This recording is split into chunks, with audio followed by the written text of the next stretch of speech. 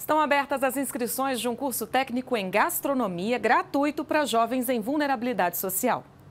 O curso técnico que eles podem fazer é assinado pelo renomado chefe de cozinha, Léo Paixão. A ideia é treinar eles como cozinheiros para dominarem todos os processos de uma cozinha. Então eles vão entrar aqui fazendo coisas bem básicas e simples, que muitos deles são muito crus, é, sempre dentro da cozinha, de forma prática. Era um sonho antigo da minha mãe, de mais de 20 anos, de implantar uma escola de nível internacional que fosse totalmente gratuita e voltada para jovens em situação de vulnerabilidade social. São 80 vagas disponibilizadas e as inscrições estão abertas de hoje até o próximo dia 15 de janeiro.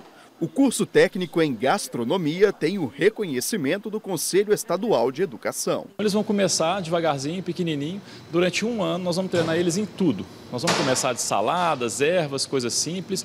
E no final eles vão estar fazendo cozidos, feijoadas, óbvio, muita cozinha brasileira, com aquela base da culinária francesa também, que eles vão aprender bastante sobre toda a cozinha internacional. A experiência aqui está sendo incrível para mim, ter esse aprendizado aqui com o chefe Léo Paixão. E eu espero continuar, seguir em frente e continuar a carreira. Para apoiar os alunos durante o curso, eles recebem ainda uma ajuda de custo de meio salário mínimo por mês e vale transporte, além do uniforme, material escolar e didático e um kit completo de higiene e lanche diário. Para se inscrever, os jovens precisam ter, a partir de 17 anos, é, estar cursando o segundo grau é, a partir do segundo ano, ou estar cursando o EJA do segundo grau, ou ter concluído o segundo grau. Serem alunos ou egressos de escolas públicas. As inscrições podem ser feitas por meio do Instagram, arroba Brasil.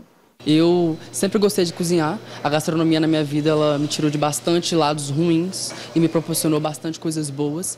Inclusive, eu estou aqui também para falar para vocês que quem tem vontade de participar né, do projeto INHAC, de mexer com gastronomia, nem que seja uma sobremesa, não desista.